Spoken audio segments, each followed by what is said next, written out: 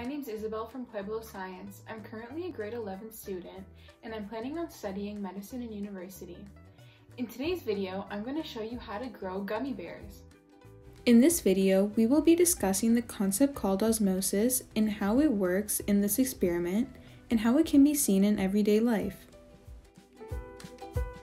The supplies needed for this experiment are 3 cups for water, salt, gummy bears, and vinegar. The next step is to add 1 tablespoon of salt into one cup and 1 tablespoon of vinegar into the other cup.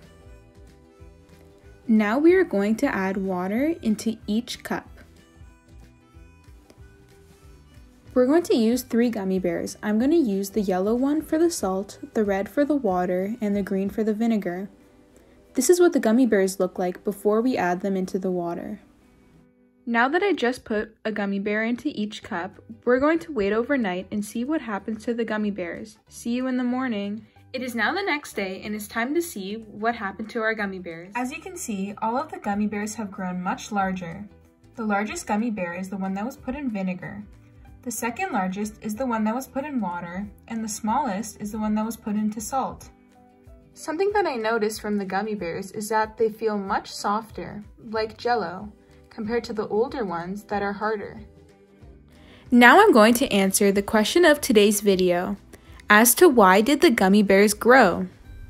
Gummy bears are made out of a substance called gelatin. Gelatin can also be found in sweets like marshmallows and jello.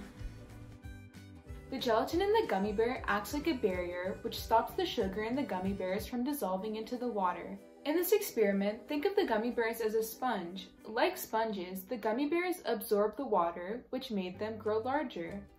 They also grew larger through the process called osmosis. Osmosis is the ability for water to seep through a semi-permeable membrane. A semi-permeable membrane allows non-charged particles, like water, through it, but don't let larger particles like sugar out of it. Water moves from a higher concentration to a lower concentration of water. The gummy bear grew the most in the vinegar because the acid from the vinegar was able to break down the gelatin wall, which allowed for more water to seep through into the gummy bear. The gummy bear grew the least in the salt water because salt causes the water to move from a place of high concentration to low concentration. Think of when you've been in a pool or a bathtub for a long period of time. Your hands usually start to prune up like this. This is an everyday example of osmosis.